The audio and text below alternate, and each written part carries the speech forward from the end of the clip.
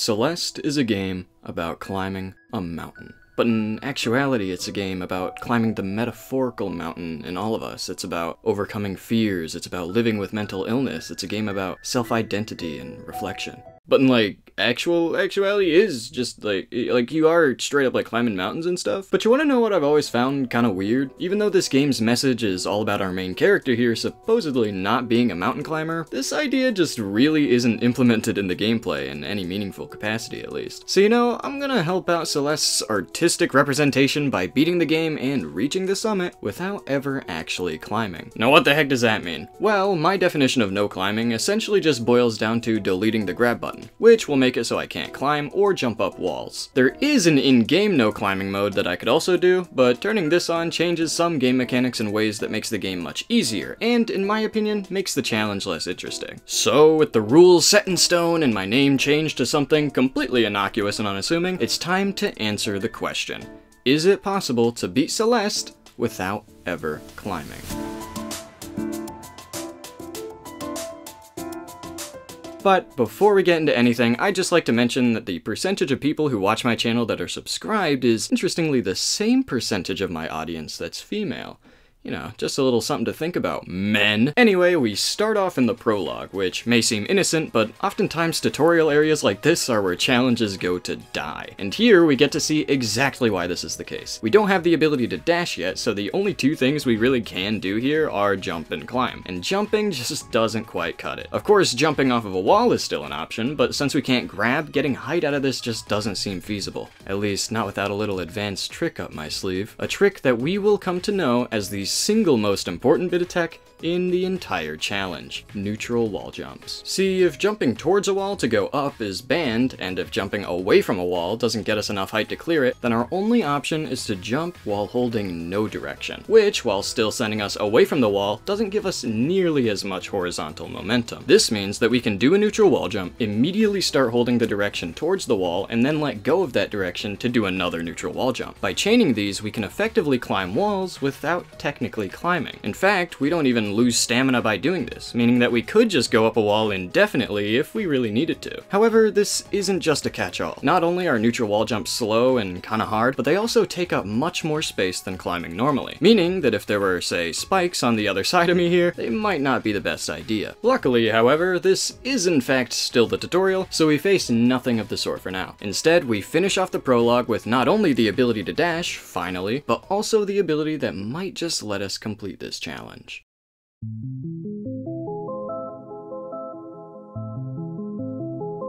On to our first real level, we can see that dashing is yet another invaluable tool in our arsenal. It effectively just stacks as a double jump that refreshes whenever you land, which makes the majority of these rooms trivial, even without the ability to climb. That is, at least, until we come across this room. This is a conveyor belt platform, whose main purpose is to move once you interact with it. Interacting refers to either landing on the block or, you guessed it, grabbing onto it. And since neither of those are options, we're gonna have to find a way to clear this gap without using the block we usually need. And this, as you can see, even with our newfound dash, just doesn't seem possible. At least, not without advanced trick number two, baby, let's go! This is a wave dash, and it too will prove to be immensely useful throughout the challenge. It works by dashing diagonally down into the ground, at which point you're able to jump before the dash actually ends, transferring a ton of the dash's speed in the air. And if you time the jump properly, you can even get your dash refreshed, effectively making it a better jump, with way more speed and distance at the expense of slightly less height. So, by wave dashing here, I was able to cross this gap and avoid having having to use the block altogether. And the next room was a pretty similar story. However, as great as that was, it wasn't about to help me much in this room here. You're supposed to make this block fall down in order to set up a little platform to stand on and get over these spikes, but much like the conveyor blocks, these things don't fall unless we grab onto them. So we're gonna have to find another way. And with not enough space to set up a wave dash, I had to settle with this nonsense. Okay, what the heck was that? Did I just straight up jump off the spikes? Well, kinda. If you line yourself up perfectly, it's actually possible to wall jump off of this tiny surface in between the spikes, which is what gives us the necessary distance to cross this gap. And with that room completed, all we had left to do was a bunch more neutral wall jumps to get around not being able to use the conveyor blocks in this room, and the first chapter was officially completed. But man, despite getting through unscathed, that was still kind of a rough level. All it takes is a few mechanics that expect you to be able to grab and things can go south pretty quick. However, these mechanics vary drastically from chapter to chapter, so all we can hope is that the next chapter has a little bit of mercy.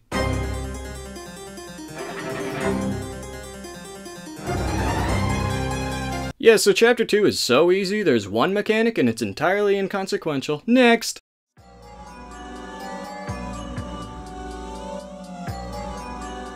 Now, Chapter 3, although not quite as dense with tricks as the first, as its mechanics didn't really impact the challenge too much, still brought things back up to speed simply by upping the base difficulty. Before we even got into the meat of the level, for example, I had to get this key by doing a short wall jumping section, which, although possible, is certainly much more difficult when one of the only few options we have off a wall is completely removed. Luckily, I was able to cheese it by switching back and forth between these two rooms to repeatedly refresh my dash in the air, which gave me enough height to grab the key without any difficulty. Aside from that, I also started to incorporate advanced trick number 3, the wall bounce, which I used throughout the many vertical sections of this level. By canceling an upwards dash with a wall jump, we can effectively bounce off of any wall with a bunch of vertical momentum, which makes otherwise brutal obstacles like this, which removes neutral wall jumping as an option, a little bit more manageable. And with this new tool up our sleeve, we were able to breeze through this chapter as well with not too much in the way of this challenge. We were making fantastic progress, so it makes sense it was about time for something to shake things up.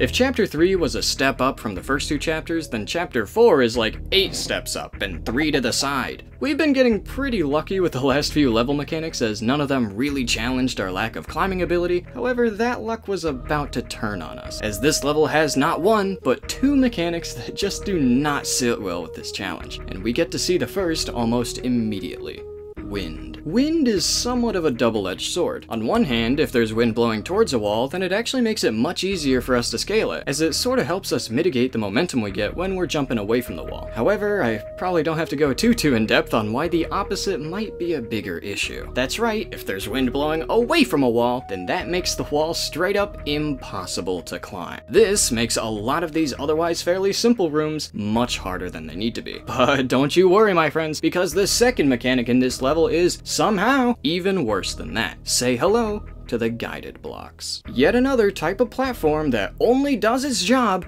as a platform if we can interact with it, which will sometimes require grabbing it. But nope, it doesn't stop there, for as we see with our first encounter with one, sometimes it's not even enough just to activate the blocks. In this case, we're expected to grab onto the side of the block in order to guide it left and right, which is how we're intended to get up here and continue the level. Of course, without grabbing, we'll just have to find a way to get up there without the block. And spoiler alert, this is gonna be a trend for this level. Luckily, getting around this one actually isn't too bad, so long as you're a dang wizard. Alright, look, I'm not gonna pretend to know how this one works, I just know if you brush right underneath a corner and press jump at just the right time, you'll be able to jump off the wall, even if it's all spiked up. And after an extremely kind room with a guided block that we're actually allowed to activate and control without grabbing, no way, uh, we come across this mess. Oh man, uh, that's a lot of up to do. Dang, you know, it'd just be really nice if I had, I don't know, maybe just a couple platforms here that I could jump off of, get all this height I need. Man, I'm just spitballing here. Don't worry though, eventually I was able to use these crystals in combination with some wall bounces to get all the way over to this wall, at which point some precise neutral wall jumps were able to get me to where I needed to be, bypassing that complete disaster of a room.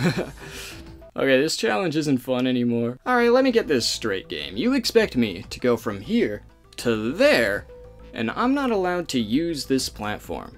Uh, why? Why would you make me do that? I can't do that. Who do you think I am? I can't even climb. If it wasn't already obvious, just doing a wave dash here doesn't even get close to crossing this gap, so we're gonna have to really scratch our heads on what to do here. Clearly, this little area up here is gonna have to come into play in at least some capacity, as it might be able to shorten the gap we have to cross a little bit. It's not quite that trivial to get up there though, since normal wave dashing doesn't get us enough height to let us jump off the walls. Instead, to get the height I needed, I had to cancel a normal horizontal dash instead of a downwards diagonal one, which doesn't get me as much speed, but gives back the height of a normal jump. At this point, the trick technically isn't a wave dash anymore, but instead it's what the Celeste community calls a super. And although they are definitely different, I feel like it's just more confusing than anything to call the different variations of what is essentially the same trick completely different names. And let's be real, for the purpose of this video, would you rather I refer to this as a reverse extended hyper jump, or just a different wave dash? I don't feel the need to get too too precise with these tricks, alright, I'm a casual anyway.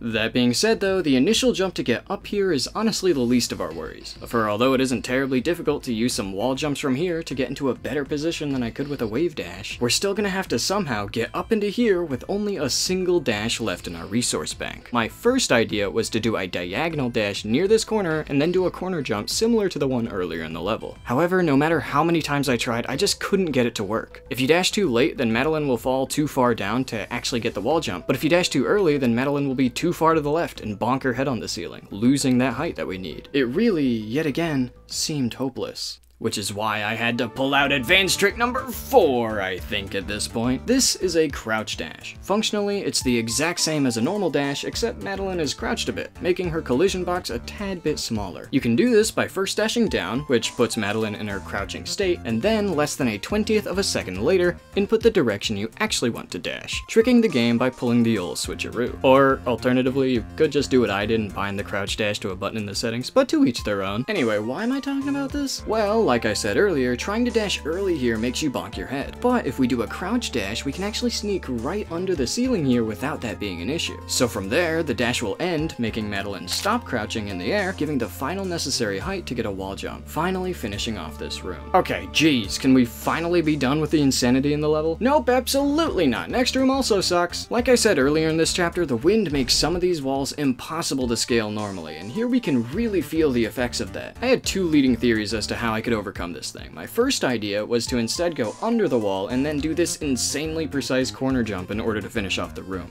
However, although I'm pretty sure that this would have eventually worked, I ended up getting my second strat to work before it, which just involved getting an extremely tight wave dash off of this tiny little platform in order to scale the wall without climbing it. Oh boy, oh boy, is that the third god-awful room in a row? What a treat for me! Like last room, I can't just climb over this thing because of the wind. However, unlike last room, there doesn't seem to be a way to get over it with any sort of wave dash. So under it was, and again, I resorted to using a crouch dash in order to duck right under these spikes and avoid getting hit.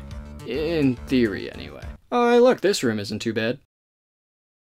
But don't even get me started on the terrible room number 4. Again, the wind is just terrible here, and it's getting harder and harder to get around being intended to climb. That being said, I got past the main obstacle here by doing what must have been a maximum height wall bounce in order to get up here. From there, I was able to use a wave dash to skip the guided block section and finish off the room. But I I'm sorry, did you really think that there wasn't about to be a garbage room number 5? I again had to deal with guided blocks in this room, and although the first section here wasn't too bad, this area yet again took some precise wall jumping in order to get through without needing this guy. yeah, this is the sixth one. And you know what? After all that, I think that with this room, the game has finally hit us with its killing blow because this room is an absolute nightmare. And like, 100% impossible, for sure, for sure. Again, not being able to activate this guided block is really ruining my life here, and getting through without it is way, way less trivial than the last couple rooms. Trust me, alright, I did my research here, and even tassers of this game have trouble finding a way past here, and that's both with climbing and extra speed generated from, you guessed it, activating the block.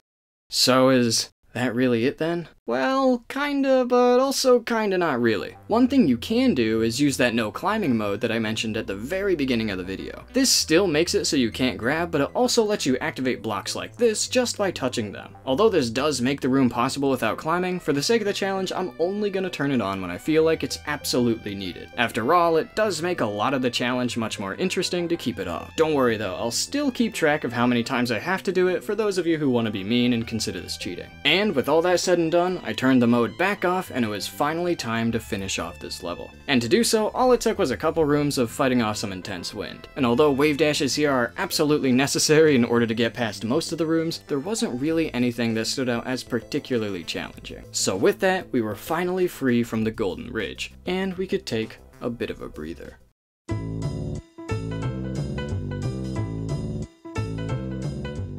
Chapter 5 is the Mirror Temple, and compared to the absolute terror that was the last level, this one really isn't too bad. This chapter's primary mechanic involves these guys, the dashing platforms, which move whenever we dash, which is great because that's something we're actually allowed to do, is what I would say if a bunch of the rooms here weren't designed around obstacles like this. Like wind, clinging onto moving platforms is a two-way street. The platform is either moving towards us, which makes it really easy to stay with it, or it's moving away, making it straight up impossible. So the only way past rooms like this is to find a way onto the other side of the platform, which, given rooms like this nonsense, can be way too difficult. Let me run down the list of reasons as to why this room is absolute garbage. Remember, we gotta get to the other side of this thing in order to finish the room without climbing. There's just no other way. But because this platform is activated by dashing, trying to go over it makes us miss the bus by a mile. And going under it has its own whole set of complications. Like see this dash here? That's necessary. If you don't do that, then Madeline bonks her massive head on the way over and makes the dash under impossible. Speaking of this dash, you might be thinking that a crouch dash is the way to go, because, you know, the whole massive head thing. But nope, you actually don't want to be crouching here. You actually want Madeline to be poking your head up in order to avoid accidentally juking your own ride. Oh, but don't worry, because even if you do all that right, here's what's gonna happen 95% of the time this dash actually works. yeah, since the platform gets activated by the dash, the only thing that doing everything right does is put you in the prime position to get launched into the death zone at Mach 3. But whatever, it's fine, because if you do everything perfect and then just time the last jump a little bit later, then it is in fact possible, as is everything with enough commitment, hard work, and pure skill. Anyway, that was the main obstacle of this chapter, especially since you can do a wonky wave dash here to skip a good chunk of it. Overall, despite the minor hiccup, this place really didn't pose too too many issues issues. Ooh, well, ain't this a treat. The last section of this chapter requires that we carry this dude around, which requires the grab button. And unlike our last conundrum, the no climbing mode doesn't change anything here. So is this really, really it then? Is this where we finally crack for good in this challenge? Oh, what? No!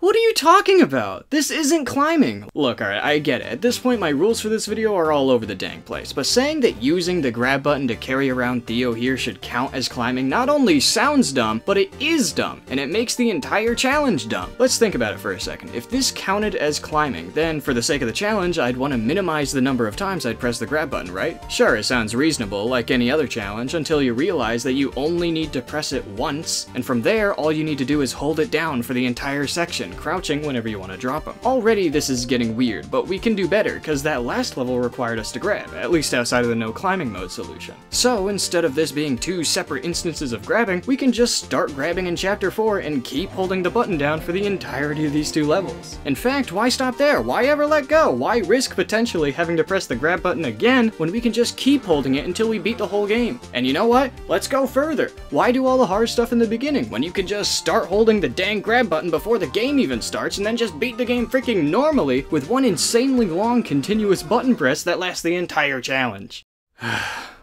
Look. At the end of the day, I make these challenges because they're a cool and interactive way to show off neat tricks you can do in a video game. So the rules, although certainly designed to make the challenge possible, are primarily there just to make things interesting. So for your sake, and my own, this, believe it or not, does not count as climbing, and my rules will not be discussed any further in my comment section. We're moving on.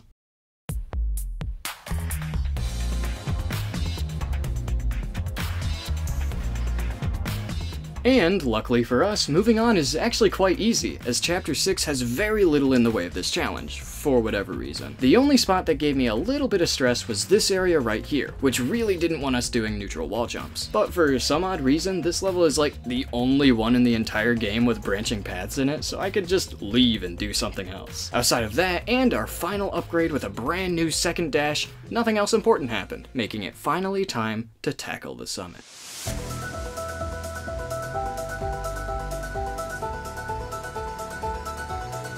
Dang it. Okay, so like almost immediately, there's a massive issue here. You already know who it is, NordVPN, coming to ruin all of my challenges. As usual, there's no way past this section outside of moving this guy. And if you remember from the first level, that's not exactly something I can just do on command. And yeah, there's nothing else I can really even try here. The game's just forcing my hand at this point, making it the second time the no climbing mode comes to my rescue. And although that certainly seemed like a terrible sign for the future of this level, the game kindly used the next few big sections here to allow that omen to marinate for a little while longer. Although there were a couple rooms here and there that required a little bit of work around, there really wasn't too much we haven't already seen before. That was, of course, until our karma could finally come to fruition in the form of this room right here. Now, unlike the other very difficult rooms that we've seen thus far in the challenge, I'm not actually gonna run through all the bad things about this room. And the reason, to be honest, is cause it'd take longer to explain than it did to actually do. Which, if you were wondering, was about, eh, give or take three hours. So instead, I'm just gonna walk through what did eventually work, and hopefully that will speak for itself.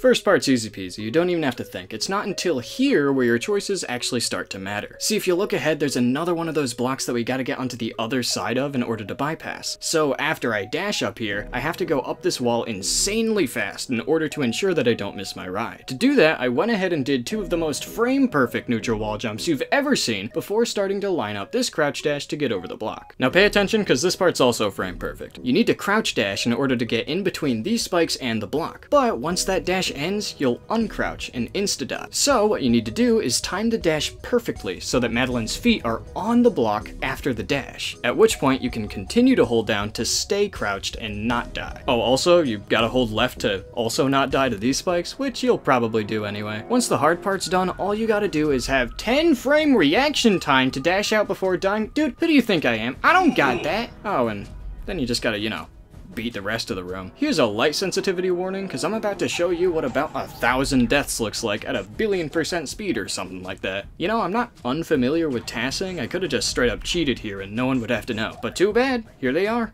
The consequences of my actions. Okay, so no one tell the light sensitive people. They all still have their eyes closed, so we're just we're just gonna not tell them to open it, we're, we're gonna prank them. Anyway, you'd think after that entire ordeal that whatever negative juju I built up for myself would have been paid off by now, but nope, we still got like eight more stupid rooms. Luckily though, beyond a few sections that weren't too different from things we've already had to deal with, there was really only one area that truly gave me a run for my money, which conveniently was like the last section in the game. This little stretch of wall is only possible by either climbing or using an extra dash. So all we had to do here to get that extra dash was to stall for a bit and grab this crystal, which really wasn't too bad. And with that, all we have left are a few more jumps and a few more dashes before we finally make it to the summit of Celeste Mountain, without ever actually climbing. But, uh, we're not done yet. I mean, sure, you could say we beat the game by the most minimal definition possible, but can we really say that we're done when we still have an entire extra chapter to do?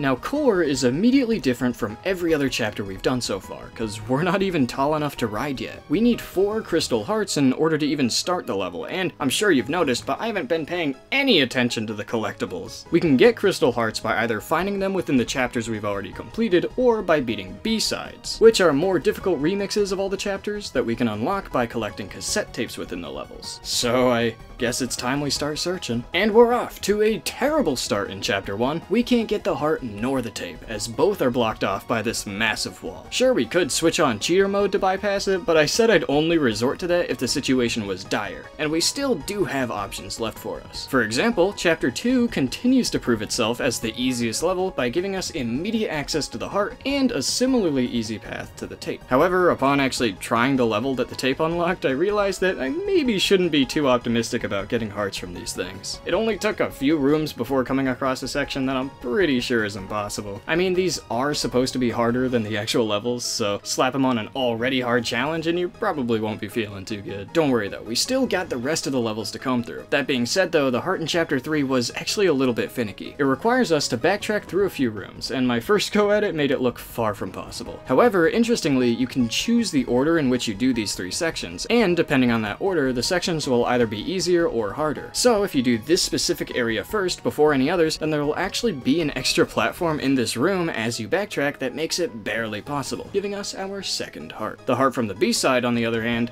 uh, yeah, maybe not quite as much. Chapter 4's Heart and Tape were very simple to collect, and surprisingly, actually, the Chapter 4 B-side is super impossible. I don't know what you expected. Luckily, though, we were able to collect our fourth and final required heart in Chapter 5 without too much trouble. And although it was entirely unnecessary, I went ahead and took a look at its B-side as well, just to have a bit of a hearty laugh. Ho Absolutely not. But with that, we finally have what we need to begin the final chapter. And oh boy, what a finale this will be. The core has two main gimmicks. One is the hot and cold switch, which will change certain objects throughout the rooms to have different properties. And while playing, I quickly developed a burning hatred towards the hot variation. Cold is great. There are a bunch of things you can bounce off of to get height, and there are even some walls that you can't even grab if you wanted to. Heck, sometimes I'd even opt to roll with the cold zone, even when it was clearly unintended. Heat, on the other hand, is hot and spicy and painful, and has these two things, which both sometimes expect us to grab them in order to gain height off of them. Oh, what's that? You want to hear about the second main gimmick of Core? Well, remember the entire rest of the game where you're allowed to like, you know, dash and stuff? Not in Core. Unless you can provide the crystals, you got two of them per room. That's the best I can manage. This made a lot of obstacles more puzzles than anything. Yeah, some things were still insane mechanically, but having to now manage our resources more creatively on top of that added an extra layer to the challenge. Now I could explain plenty of these rooms in depth about how I had to preserve dashes with precise wall jumps and spike jumps, or by preserving momentum through crystals, or by stalling out crystals under a tight time limit. But nah, instead of any of those, you know, cool or technical rooms, I'm gonna take a minute here to discuss my least favorite hours of my godforsaken life. Look, I understand this isn't flashy or anything, but you have to understand how hard it is to get over these spikes with neutral wall jumps, okay? It's the most frustrating thing of all time. And you gotta do it like four times in this room, while also dodging the flame balls, and yeah, this took longer than that one room in Summit. But with enough perseverance, dedication, and a reasonable amount of regret for my decisions, we finally made it to the core of Celeste Mountain. And with one final dash, we can officially say that we've climbed this mountain of a challenge without actually having to climb it. Oh, what, that? Uh, yeah, just, just don't don't worry about that. That's not that's not even a real level if you don't think about it. Anyway, welcome to the end of the video. That's right, we're done. Not looking back, not even a little bit. I know this was a long time coming, but I hope it didn't disappoint. And hey, if it didn't, let me know by doing all those YouTube things. You know, uh, like I don't know, whatever they are these days. I'm working on being more consistent with my uploads, as is you know every YouTuber with an inconsistent upload schedule. But I'm serious. I, I got stuff in the works, so expect some more gaming content in the next couple weeks. Hopefully. Uh, but for now, yeah, I'm gone.